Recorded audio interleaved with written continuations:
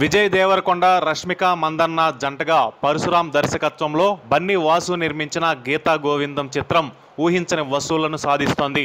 సినిమాకు భారీ ఓపెనింగ్స్ రావడంతో లాంగ్ రన్లో ఈ సినిమా నలభై కోట్లను వసూలు టార్గెట్ చేస్తుందని ట్రేడ్ వర్గాల వారు అభిప్రాయాలు వ్యక్తం చేశారు.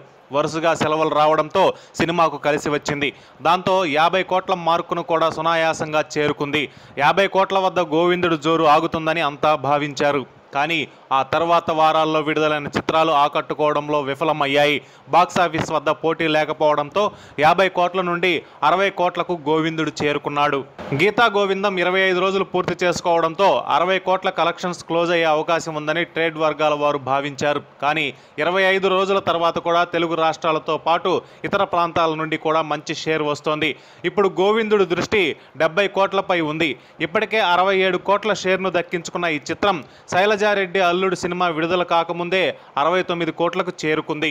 విజయ్ దేవరకొండ తన ఫాలోయింగ్తో ఈ స్థాయి వసూళ్ళను రాబట్టాడు అనడంలో ఎలాంటి సందేహము లేదు.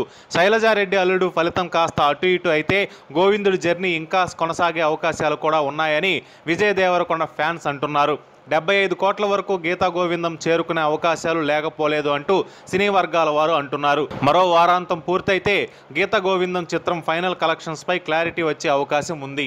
అయితే గీతా గోవిందం సినిమా ఇచ్చిన సక్సెస్ జోష్లో ఉన్న క్రేజీ హీరో విజయ్ దేవరకొండ మాట్లాడుతూ power star Pawan Kalyan craze కంటే తన క్రేజే ఎక్కువ అంటూ షాకింగ్ కామెంట్స్ చేసి అందరినీ ఆశ్చర్యానికి గురిచేశాడు ఓవైపు మెగా కాంపౌండ్ మొత్తం విజయ్ దేవరకొండకు మంచి ప్రాధాన్యం ఇస్తుంటే పవన్ కళ్యాణ్పై విజయ్ ఎందుకు ఇలాంటి కామెంట్స్ చేశాడు అంటూ అభిమానులందరూ ఆలోచనలో పడిపోయారు. అయితే తాను పవన్ కళ్యాణ్ గురించి ఎందుకు అలా మాట్లాడాల్సి వచ్చిందన్న అంశం గురించి విజయ్ దేవరకొండ ప్రస్తావిస్తూ ప్రస్తుతం గీతా గోవిందం సినిమా తెలుగు రాష్ట్రాల్లోనే కాదు ఓవర్సీస్లో కూడా మంచి కలెక్షన్స్ రాబడుతుందని అది తన అదృష్టమని. కానీ ఈ మధ్య సోషల్ మీడియాలో గీతా గోవిందం సినిమా కలెక్షన్స్ గురించిన వార్తలు బాగా వస్తున్నాయని అందులో ప్రధానంగా ఓవర్సీస్లో మంచి కలెక్షన్స్ రాబట్టిన టాప్ టెన్ చిత్రాల జాబితాలోకి గీతా గోవిందం కూడా చేరిపోయిందని.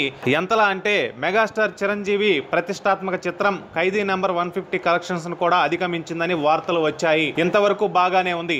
ఓవర్సీస్లో టాప్ టెన్ చిత్రాల్లో పవర్ స్టార్ పవన్ కళ్యాణ్ చిత్రం లేదని కానీ రీసెంట్గా వచ్చిన Vijay Deverakonda Geetha Govindam cinema top ten లిస్ట్లో చేరిపోయి ఏకంగా మెగాస్టార్ చిత్రాన్ని కూడా దాటేసిందని ప్రస్తుత ఓవర్సీస్ మార్కెట్ను బట్టి చూస్తే పవన్ కళ్యాణ్ క్రేజ్ కంటే తన క్రేజ్ ఎక్కువ అంటూ వార్తలు వస్తున్నాయని విజయ్ దేవరకొండ మాట్లాడుతూ పవన్ కళ్యాణ్ గారి క్రేజ్ను అందుకోవడం ఎవరి తరం కాదు. యూత్కి ఆయన ఐకాన్ దేవుడు. అంతకంటే ఎక్కువ. కేవలం వారికే కాదు. నాకు కూడా ఆయన దేవుడే. పవన్ కళ్యాణ్ గారిని చూసే నేను సినిమాల్లోకి వచ్చాను. అలాంటిది ఆయన ముందు నా క్రేజ్ చాలా చిన్నపాటిదంటూ విజయ్ దేవరకొండ పవన్ కళ్యాణ్ పై తన అభిమానాన్ని బయట పెట్టడం విశేషం. ఈ వీడియో మీకు నచ్చితే లైక్ చేసి మీ ఫ్రెండ్స్కి షేర్ చేయండి.